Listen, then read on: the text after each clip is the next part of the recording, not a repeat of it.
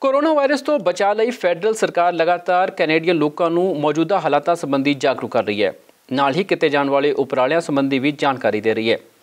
ਪ੍ਰਧਾਨ ਮੰਤਰੀ ਟਰੂਡੋ ਨੇ ਕਿਹਾ ਕਿ ਕਈ ਅਜਿਹੇ ਮੁੱਦੇ ਨੇ ਜਿਨ੍ਹਾਂ ਤੇ ਸੰਸਦੀ ਗੱਲਬਾਤ ਕਰਨੀ ਜ਼ਰੂਰੀ ਹੈ। ਇਸ ਲਈ ਸੰਘੀ ਐਮਰਜੈਂਸੀ ਐਕਟ ਦੇ ਕੁਝ ਪਹਿਲੂਆਂ ਤੇ ਨਜ਼ਰ ਮਾਰਨ ਲਈ ਸੰਸਦ ਨੂੰ ਥੋੜੇ ਸਮੇਂ ਲਈ ਵਾਪਸ ਬੁਲਾਉਣ ਦੀ ਤਿਆਰੀ ਕੀਤੀ ਜਾ ਰਹੀ ਹੈ। ਟਰੂਡੋ ਨੇ ਕਿਹਾ ਕਿ ਲਿਬਰਲ ਆਉਣ ਵਾਲੇ ਟੈਕਸ ਸੀਜ਼ਨ ਤੇ ਕਾਰੋਬਾਰੀਆਂ ਨੂੰ ਨਕਦ ਸੁਵਿਧਾ ਦੇਣ ਦੀ ਪ੍ਰਕਿਰਿਆ ਵੱਲ ਧਿਆਨ ਦੇ ਰਹੇ ਨੇ। ਪ੍ਰਧਾਨ ਮੰਤਰੀ ਜਸਟਿਨ ਟਰੂਡੋ ਲਗਾਤਾਰ ਲੋਕਾਂ ਨਾਲ ਕੋਰੋਨਾ ਵਾਇਰਸ ਤੋਂ ਮਹਾਮਾਰੀ ਬਣੀ ਬਿਮਾਰੀ ਨਾਲ ਨਜਿੱਠਣ ਲਈ ਮੌਜੂਦਾ ਸਥਿਤੀਆਂ ਤੇ ਗੱਲਬਾਤ ਕਰ ਰਹੇ ਨੇ। ਟਰੂਡੋ ਵਿਸ਼ੇਸ਼ ਉਪਰਾਲਿਆਂ ਜਿਵੇਂ ਕਿ ਰੋਜ਼ਗਾਰ ਬੀਮੇ ਵਿੱਚ ਤਬਦੀਲੀਆਂ ਅਤੇ ਸੰਭਾਵਤ ਤੌਰ ਤੇ ਸੰਘੀ ਐਮਰਜੈਂਸੀ ਐਕਟ ਦੇ ਕੁਝ ਪਹਿਲੂਆਂ ਨੂੰ ਲਾਗੂ ਕਰਨ ਲਈ ਸੰਸਦ ਨੂੰ ਥੋੜੇ ਸਮੇਂ ਲਈ ਵਾਪਸ ਬੁਲਾਉਣ ਦੀ ਤਿਆਰੀ ਕਰ ਰਹੇ ਨੇ, ਕਿਉਂਕਿ ਕੈਨੇਡਾ ਨੇ ਕੋਵਿਡ-19 ਪ੍ਰਤੀ ਆਪਣੀ ਪ੍ਰਤੀਕਿਰਿਆ ਦਾ ਜਾਇਜ਼ਾ ਲਿਆ ਹੈ। ਉਹਨਾਂ ਵੱਲੋਂ ਲਗਾਤਾਰ ਕੈਨੇਡੀਅਨ ਲੋਕਾਂ ਨੂੰ ਕੋਵਿਡ-19 ਮਹਾਮਾਰੀ ਦੇ ਦੌਰਾਨ ਅਤੇ ਦੂਜਿਆਂ ਦੀ ਰੱਖਿਆ ਕਰਨ ਲਈ ਜਨਤਕ ਸਿਹਤ ਅਥਾਰਟੀ ਦੀ ਸਲਾਹ ਤੇ ਅਮਲ ਕਰਨ ਲਈ ਜ਼ੋਰ ਦਿੱਤਾ ਗਿਆ। ਇਸ ਸਮੇਂ ਉਹ ਸਮਾਜਿਕ ਦੂਰੀਆਂ ਦੀ ਮਹੱਤਤਾ ਤੇ ਜ਼ੋਰ ਦੇ ਰਹੇ ਨੇ। ਟਰੂਡੋ ਵੱਲੋਂ ਬੁੱਧਵਾਰ ਨੂੰ ਕਾਮਿਆਂ ਤੇ ਕਾਰੋਬਾਰੀਆਂ ਲਈ ਵਧੇਰਾ ਸਮਰਥਨ ਤੇ ਆਰਥਿਕਤਾ ਨੂੰ ਉਤੇਜਿਤ ਕਰਨ ਦੇ ਉਪਰਾਲਿਆਂ ਦੀ ਸ਼ੁਰੂਆਤ ਕੀਤੀ ਜਾਵੇਗੀ। ਟਰੂਡੋ ਨੇ ਕਿਹਾ ਕਿ ਲਿਬਰਲ ਆਉਣ ਵਾਲੇ ਟੈਕਸ ਸੀਜ਼ਨ ਤੇ ਕਾਰੋਬਾਰੀਆਂ ਨੂੰ ਨਕਦ ਸੁਵਿਧਾ ਦੇਣ ਦੀ ਪ੍ਰਕਿਰਿਆ ਵੱਲ ਧਿਆਨ ਦੇ ਰਹੇ ਨੇ, ਜਿਸ ਕਰਕੇ ਬਹੁਤ ਸਾਰੇ ਕਾਰੋਬਾਰ ਉਦਯੋਗਾਂ ਤੇ ਪ੍ਰਭਾਵ ਪਿਆ ਹੈ। ਟਰੂਡੋ ਨੇ ਕਿਹਾ ਕਿ ਆਰਥਿਕ ਟੁਕੜੇ ਬਹੁਤ ਛੋਟੇ ਨੇ, ਜਿਨ੍ਹਾਂ ਨੂੰ ਪਾਰ ਕਰਨ ਲਈ ਕੈਨੇਡੀਅਨ ਲੋਕਾਂ ਦੇ ਸਮਰਥਨ ਦੀ ਜ਼ਰੂਰਤ ਪਵੇਗੀ। ਉਹਨਾਂ ਕਿਹਾ ਕਿ ਉਹ ਐਮਰਜੈਂਸੀ ਉਪਾਅ ਐਕਟ ਦੀ ਵੀ ਪੜਤਾਲ ਕਰ ਰਹੇ ਨੇ।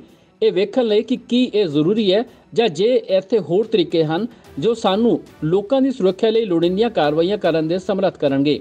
ਫਿਲਹਾਲ, ਟਰੂਡੋ ਨੇ ਕਿਹਾ ਕਿ ਉਸ ਦੇ ਅਧਿਕਾਰੀ ਇਸ ਗੱਲ ਦੀ ਪੜਤਾਲ ਕਰ ਰਹੇ ਨੇ ਕਿ ਸੰਕਟਕਾਲੀਨ ਸਥਿਤੀ ਦਾ ਐਲਾਨ ਕੀਤੇ ਬਿਨਾ ਕੁਝ ਐਮਰਜੈਂਸੀ ਪ੍ਰੋਟੋਕੋਲ ਨੂੰ ਚਾਲੂ ਕਰਨਾ ਜਾਂ ਸੁਰੱਖਿਆ ਦੇ ਵਾਧੂ ਸਾਵਧਾਨੀਆਂ ਅਪਣਾਏ ਬਿਨਾਂ ਸੰਭਵ ਹੈ ਜਾਂ ਨਹੀਂ? ਟਰੂਡੋ ਨੇ ਸਾਰੇ ਕੈਨੇਡੀਅਨ ਲੋਕਾਂ ਦਾ ਇਸ ਸਿਹਤ ਸੰਕਟ ਦੇ ਸਮੇਂ ਕੰਮ ਕਰਨ ਲਈ ਧੰਨਵਾਦ ਕੀਤਾ। ਉਹਨੇ ਕਿਹਾ ਕਿ ਚੀਜ਼ਾਂ ਜਲਦੀ ਠੀਕ ਹੋ ਜਾਣਗੀਆਂ, ਪਰ ਉਹਨਾਂ ਨੂੰ ਇਹ ਨਹੀਂ ਪਤਾ ਕਿ ਇਹ ਹਫ਼ਤਿਆਂ ਜਾਂ ਮਹੀਨਿਆਂ ਵਿੱਚ ਠੀਕ ਹੋਵੇਗਾ। ਸਾਡੇ ਵਿੱਚੋਂ ਹਰ ਇੱਕ ਅਜਿਹੀ ਚੋਣ ਕਰ ਸਕਦਾ ਹੈ ਜੋ ਸਾਡੇ ਆਲੇ ਦੁਆਲੇ ਦੇ ਲੋਕਾਂ ਦੀ ਮਦਦ ਕਰੇ। ਉਹਨਾਂ ਕਿਹਾ ਕਿ ਅਸਲ ਵਿੱਚ ਅਸੀਂ ਅਜਿਹੀਆਂ ਚੋਣਾਂ ਕਰ ਸਕਦੇ ਹਾਂ ਜੋ ਜ਼ਿੰਦਗੀ ਨੂੰ ਬਚਾ ਸਕਣ। ਟਰੂਡੋ ਨੇ ਕੈਨੇਡੀਅਨਸ ਨੂੰ ਰਾਡੀਓ ਕਾਟੇਜ ਵਿਖੇ ਆਈਸੋਲੇਸ਼ਨ ਕਰਨ ਦੇ ਫੈਡਰਲ ਸਰਕਾਰ ਦੇ ਉਪਾਵਾਂ ਬਾਰੇ ਵੀ ਜਾਣਕਾਰੀ ਦਿੱਤੀ। ਉਹਨਾਂ ਕਿਹਾ ਕਿ ਇਸ ਮਹਾਮਾਰੀ ਨੂੰ ਰੋਕਣ ਲਈ ਕੈਨੇਡੀਅਨਸ ਨੂੰ ਸਟੈਪ ਚੁੱਕਣੇ ਚਾਹੀਦੇ ਨੇ, ਜਿਵੇਂ ਕਿ ਸਮਾਜਿਕ ਦੂਰੀ, ਹੱਥਾਂ ਨੂੰ ਧੋਣਾ 50 ਤੋਂ ਵੱਧ ਲੋਕਾਂ ਦੇ ਸਮੂਹ ਵਿੱਚ ਇਕੱਠੇ ਨਾ ਹੋਣਾ ਅਤੇ ਛਿੱਕ ਮਾਰਦੇ ਸਮੇਂ ਆਪਣੀ ਕੂਣੀ ਦਾ ਇਸਤੇਮਾਲ ਕਰਨਾ। ਉਹਨਾਂ ਕਿਹਾ ਕਿ ਪਾਰਕਸ ਕੈਨੇਡਾ ਵਿਜ਼ਟਰ ਸੇਵਾਵਾਂ ਵੀ ਬੰਦ ਕਰੇਗਾ, ਅਰਥਾਤ ਵਿਰਾਸਤੀ ਥਾਵਾਂ ਤੇ ਰਾਸ਼ਟਰੀ ਪਾਰਕਾਂ ਦਾ ਸਟਾਫ ਵੀ ਨਹੀਂ ਹੋਵੇਗਾ। ਫੈਡਰਲ ਸਰਕਾਰ ਵੱਲੋਂ ਤਾਜ਼ਾ ਅਪਡੇਟ ਸੋਮਵਾਰ ਨੂੰ ਟਰੂਡੋ ਵੱਲੋਂ ਪਰਿਵਾਰਾਂ ਦੀ ਸਹਾਇਤਾ ਲਈ ਵਾਧੂ ਉਪਰਾਲਿਆਂ ਦੇ ਵਾਅਦੇ ਤੋਂ ਬਾਅਦ ਆਇਆ ਹੈ।